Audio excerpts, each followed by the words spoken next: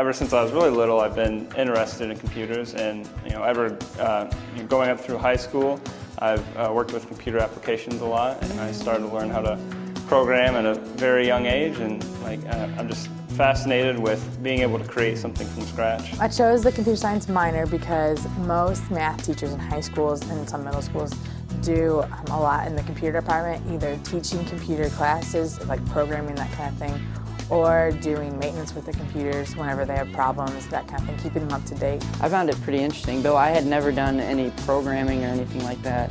Um, so I essentially at first just tried a few classes out and uh, then I, and then I ended up enjoying them. Our best students are, are students that um, kind of defy the, the, uh, the, the, uh, computer nerd stereotype.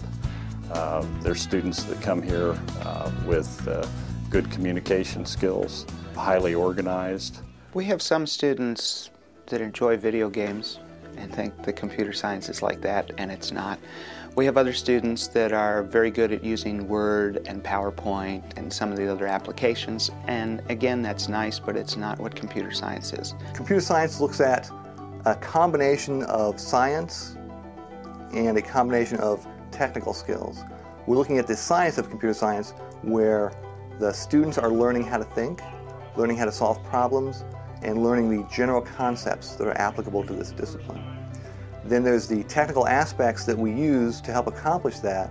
So we may learn how to use a database. We may learn how to use a particular operating system or to program in a specific language. And it's the combination of those that becomes really important. And what we look for uh, more than anything are students that are, that are motivated, that want to be here, that want to learn. Students that have uh, typically strong math or problem solving aptitudes. We've got the computer science major, which is the base major. Then we have an emphasis in mathematics with computer science math. We have an emphasis in business with information systems. And then we have a new major, the complementary major in computer science. The professors are always upgrading their knowledge. They're constantly studying and training new things. Since I've been at the university, they go, they, they've started teaching three different programming languages in the first class. So they are in line with the Association of Computer Machinery, the ACM. They follow their curriculum, which is the standard across the world. When we look at the faculty in the computer science department, we really have three distinct and different faculty members. Chuck Kuntz has been my professor for both classes now. And he is just, I love him to death. I come in every day with a smile on my face because I know that he puts up with my sarcasm and my jokes. And when I don't get something, I get frustrated. And he just, he, he just puts up with all of it. He'll help you with whatever problem you have. Uh, he'll go the extra mile. You'll have no problems getting a hold of him. What I enjoy the most is, is seeing a student finally get it.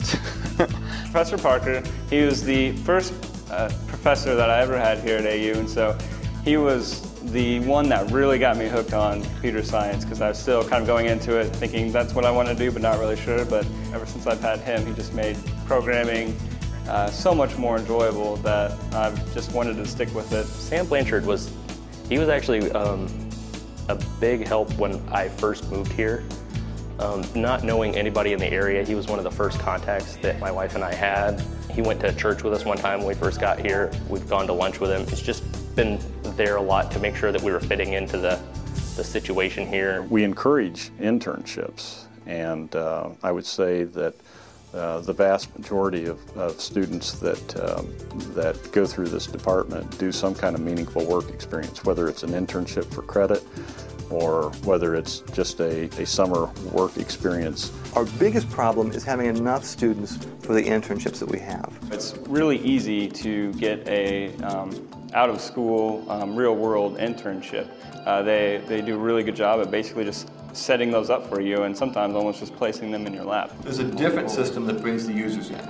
So let's talk about that real quick. The Software Research Center gives students, faculty, and then local companies or industry a chance to work together. We're looking at students being able to program or students being able to do systems management tasks, and then how can faculty facilitate that, and then the companies come in giving us real world problems. The job that I'm doing now probably didn't even exist when I you know, was a freshman, but uh, I had that confidence and I knew that anything that came up, you know, I could learn about it, I could tackle it. The one-on-one attention that I got because of the small class sizes and the personal uh, curriculum that was designed for me to accommodate my own life schedule and goals um, made it just an excellent program. In a lot of ways, I feel that I was given an education that made me much more much more valuable than a lot of people I work with and that I deal with on a daily basis in, in the IT world. I would hope that, that anyone that comes to Anderson University would recognize that uh, uh, whatever they're majoring in is, going to end up being a stronger major if they um, take a look at, at, at, a double major or you know at least our, our complementary major.